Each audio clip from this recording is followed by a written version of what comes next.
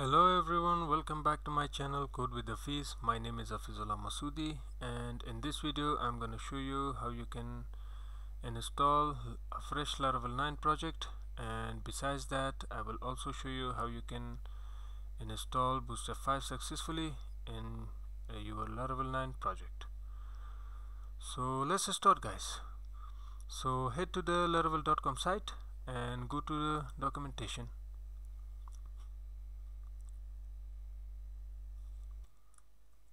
as you guys can see Laravel 9.x is already selected. So let's go to installation via composer because we will install Laravel 9 project using composer.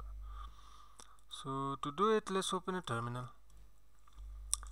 And because I am using Linux so I will go to my uh, LAMP directory. And if you are using Windows you can go to your XAMPP or WAMP folder in your C directory or your C drive.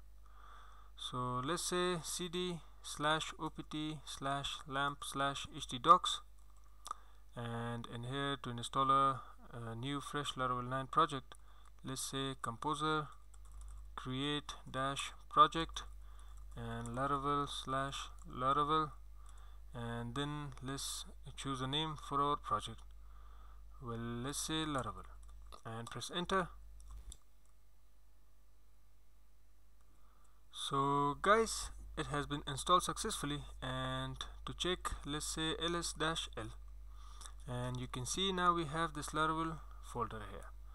And it is blue because we don't have any access to uh, write or execute any files inside this folder.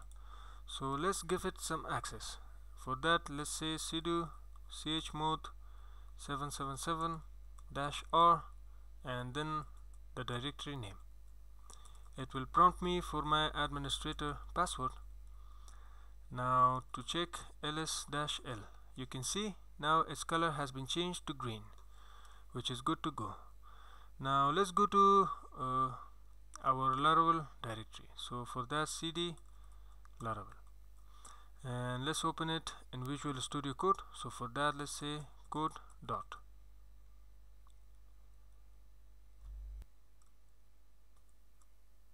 now to install bootstrap. Let's open the terminal here. And inside terminal well let's say clear. First to clear it well to install bootstrap we can use package managers. And to use package managers you have to install node.js into your system. Well I already have installed it in uh, my system. So I also have installed yarn so you can check that out how you can install those packages or applications in the internet. So let's say yarn add bootstrap. And press enter. Now the next thing that we have to install is jQuery. So let's say yarn add jQuery. And press enter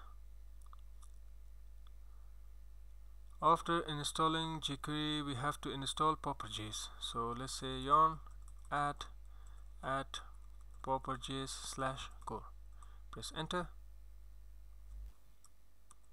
So guys after installing these dependencies to check if they are installed successfully you can go to package.json and in here you can see now these three are listed as dependencies.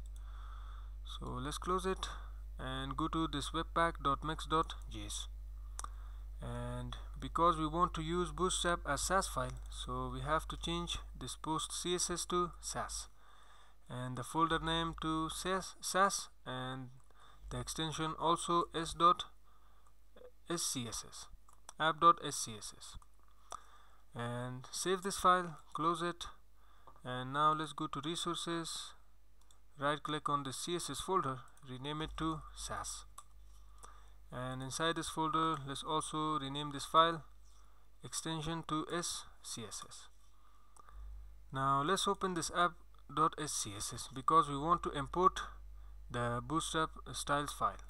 So at import and quotation first we have to go to our node modules folder then bootstrap slash is css slash bootstrap.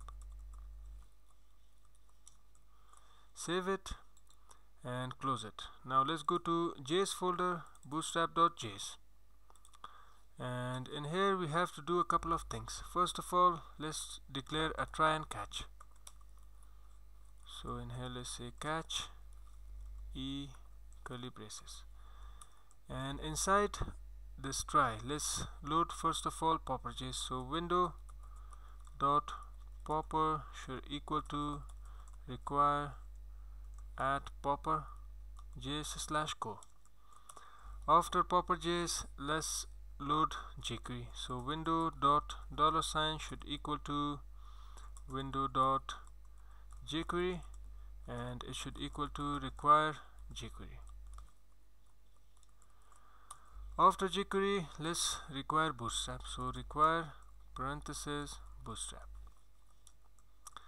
And I think that's all. So let's close it and let's open the terminal again and run yarn run dev well for first time it will throw some errors because now it is installing these additional dependencies. But to get rid of this error you can run it simply again so let's say yarn run dev now you can see guys we don't have any errors and everything is compiled successfully. Now to check if bootstrap is working just fine we have to go to this views folder and welcome blade. And first of all let's load our link and script tag. So in here let's put an enter and let's say link and let's say double curly braces. And we want to go to the asset folder which is public directory and then css slash app dot css and let's load the script tag at the bottom of our page. And here let's say script and let's declare a source for it double curly braces. Again we want to go to the public directory and js folder app.js now let's also create a button. So in here let's say button and let's say hello world and let's declare a class for it btn dash success. Save it. Now let's open our project in the browser. So let's open a new tab and let's go to localhost slash laravel slash public well I think my XAMPP is not running so let's go to the terminal. And in here let's say cd dot dot slash dot dot to go back to two folders. And if I ls dash l here I have to run this manager linux file. So let's say sudo dot slash manager dash linux dash x64 dot run and here let's go to manage servers start all. So my apache server is now running. Now let's minimize it and refresh again. You can see now we have our welcome page. And if I scroll down you can see our bootstrap is also working just fine.